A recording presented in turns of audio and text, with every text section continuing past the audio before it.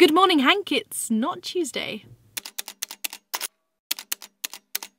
Good morning, other less hankish people. It's probably not Tuesday for you too. So, to cushion the blow, ebb the flow, bridge the gap that has been left in our internet by John's absence, many have been making stand in videos. I do realise that the majority of those were requested. Still, like the dust cloud enclosed party crasher who can't take a hint and continually insists on playing their own mixtapes, I thought I'd join in too. I decided to dull the pain of missing John by talking about his bad points.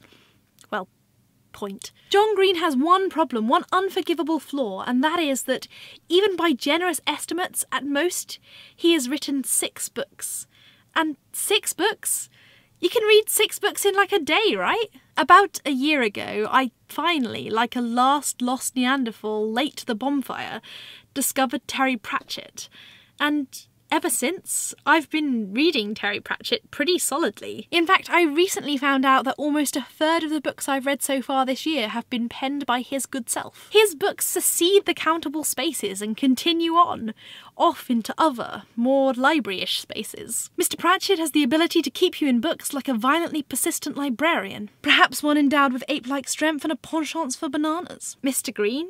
Well, you'll have hardly started gobbling up his creations before you're suddenly bereft. I, however, have been sent to YouTube to solve this problem. Unfortunately, as my John Green novel Appearinator seems to be somewhat less effective than I'd originally hoped, and because apparently we're not allowed to manacle authors to their desks, keep them in a perpetual state of novel writing, and deny them the love of their Yetis, Henrys, and newborn baby Alices, I am here to offer an alternative. As such, I come to you, fellow nerd fighters, unsated after your brilliant yet petite John Green appetizer, and offer you the standard formula. If you liked John Green, you might like. Let's go in publication order and start with Looking for Alaska. If you liked Looking for Alaska, you might like Charm and Strange by Stephanie Kuehn. This book has boarding schools, it has traumatic pasts and uncertain futures. It also, as the title might have given away to you, has geeky physics references. If you loved Alaska, I think you'll also love Drew.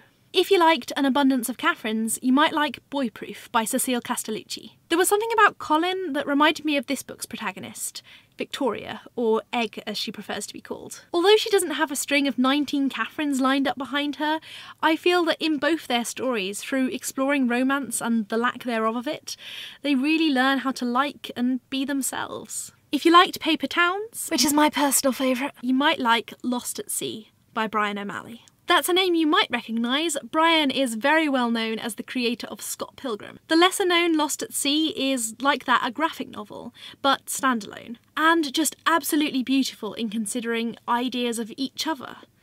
Also, road trips lots of road trips. If you liked Will Grayson, Will Grayson, you might like Oranges Are Not the Only Fruit by Jeanette Winterson, because it would just be a cop out to recommend David Levithan's other books. As well as this book also considering concepts of sexuality and first boyfriends and girlfriends, something I love about this book and that I feel Winterson and Green share in common is this odd ability to have books that are essentially about topics that are quite dark, sad, and serious, and yet pen them in novels that are brimming with humour.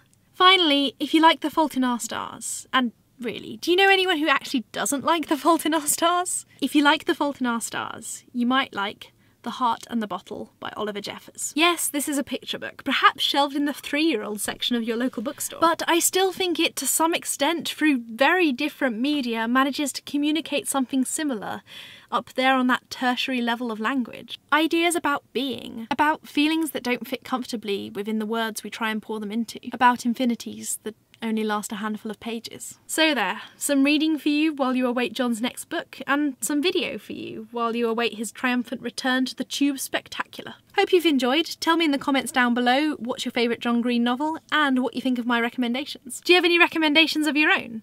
I'm always keen to snap up authors who are said to have a greenish air. Other than that, I shall see you in my next video. Bye guys.